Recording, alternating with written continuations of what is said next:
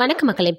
ஒவ்வொரு பிரபல ஜோடிகளுமே காதலித்து திருமணம் பண்ணிக்கிறாங்க. அதற்கப்புறம் கருத்து வேறுபாடு அப்படின்னு சொல்லி பிரிஞ்சிடுறாங்க. அந்த வரிசையில் நம்ம எதிர்பார்க்காம நடந்த ஒரு விவாகரத்து தான் தனுஷ் மற்றும் ஐஸ்வர்யா ரஜினிகாந்த் அவர்களினுடைய விவாகரத்து.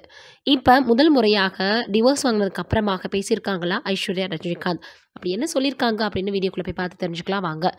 சூப்பர் ஸ்டார் ரஜினிகாந்தின் மூத்த மகளான ஐஸ்வர்யா பிரபல நடிகர் தனுஷின் மனைவி அப்படின்றது குறிப்பிடத்தக்கது. இவர்கள் இருவருக்கும் இரண்டு மகன்கள் இருக்காங்க. கிட்டத்தட்ட பதினெட்டு ஆண்டுகள் இருவரும் கணவன் மனைவியாக வாழ்ந்த நிலையில் இரண்டாயிரத்தி இருபத்தி இரண்டாம் ஆண்டு இருவரும் பிரிந்து போவதாக அதிகாரப்பூர்வமாக அறிவிச்சிருந்தாங்க.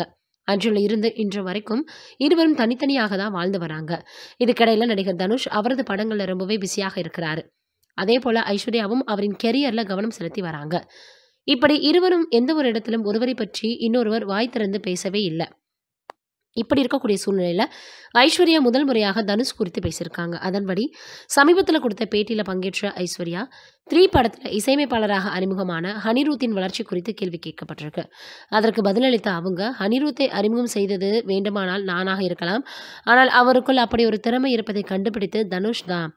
ஹனிருத்தை வெளிநாட்டிற்கு சென்று படிக்குமாறு அவரின் பெற்றோர்கள் சொன்னாங்க. ஆனால் தனுஷ் தான் அவருக்குள்ளே இருக்கக்கூடிய திறமையை கண்டுபிடிச்சாரு.